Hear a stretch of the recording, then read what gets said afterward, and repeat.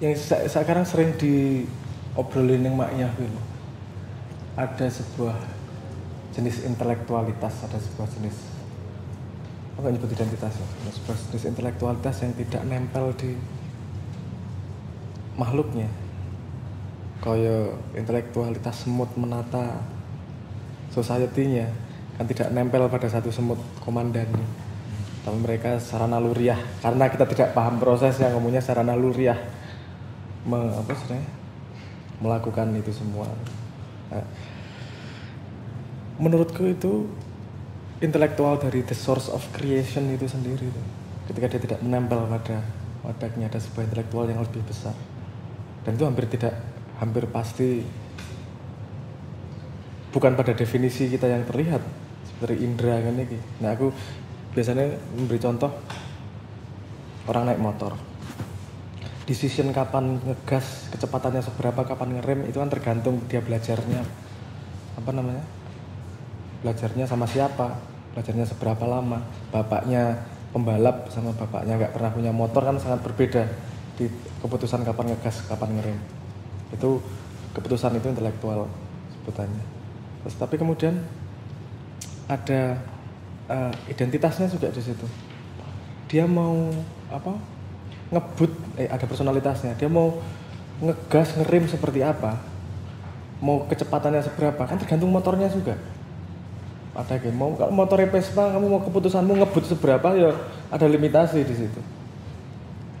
Tapi kamu mau motornya seperti apa mau kendaraannya seperti apa kan ikut peraturan undang-undang di mana lampu merah berhenti untuk keselamatan semua orang. Ketika ada intelektualitas yang lebih tinggi yang namanya undang-undang penataan semuanya jadi global jadi terlihat tanpa pelakunya menyadari. Pokoknya kebiasaannya gitu. Habit habitnya jadi kelihatan gitu. Pokoknya lampu merah berhenti. Coba tanyain berapa yang ingat undang-undang nomor berapa? Melanggar lampu merah itu. Agak nusanya kelingan taunya ada rule seperti itu. Itu kan source of creation. Source apa? Intelektual yang lebih tinggi yang menata tidak terletak pada para pelakunya tapi lebih tinggi di atasnya. Dan menurutku itu berlaku pada pada alam semesta jagat Kaitannya dengan terbentuknya identitas eh, manusia tadi itu seperti apa? Identitas man gini, proses evolusi misalnya itu turunan dari itu semua proses evolusi kan intelektualnya menghasilkan begini banyak makhluk ya. pohon segini banyak apa sih Varian-varian. varian-varian anjing, kucing dan manusia kulitnya segini banyak. Terus apa? Rule-nya sederhana. Mati hidup. Siapa yang paling bisa adaptasi terhadap keadaan, hidupnya lebih lama, anaknya lebih banyak. Hanya rule yang sangat sederhana seperti itu. Rule-rule seperti itu kemudian punya turunan ke society. Kenapa society punya tendensi tertentu?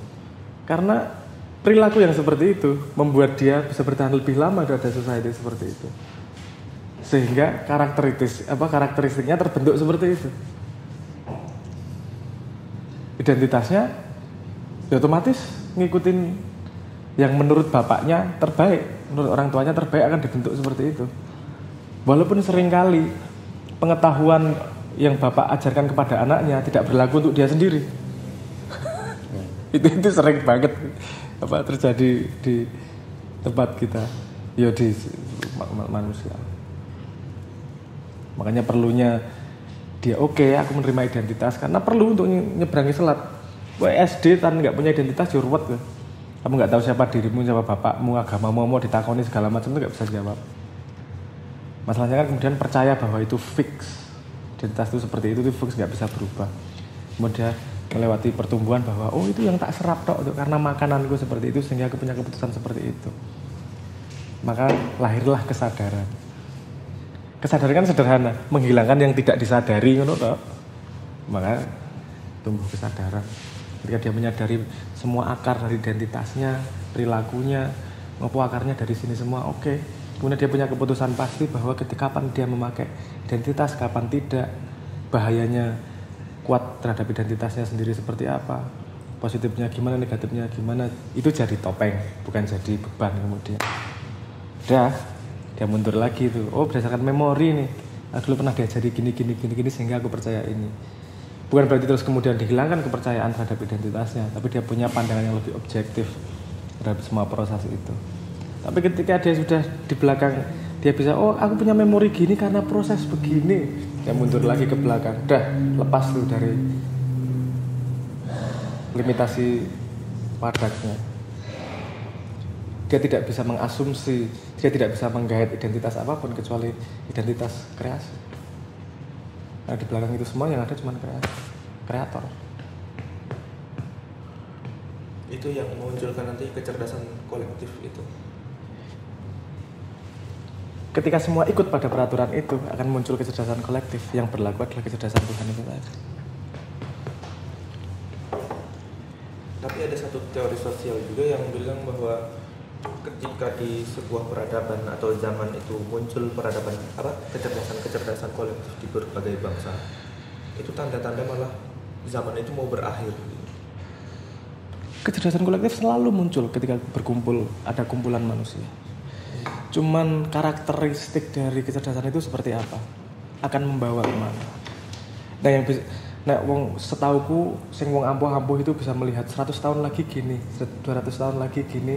Itu karena dia melihat kecerdasan kolektifnya nih. Karena kelihatan perilakunya kayak gini nih secara kolektif, nanti peradaban melarinya ke sana nih pasti.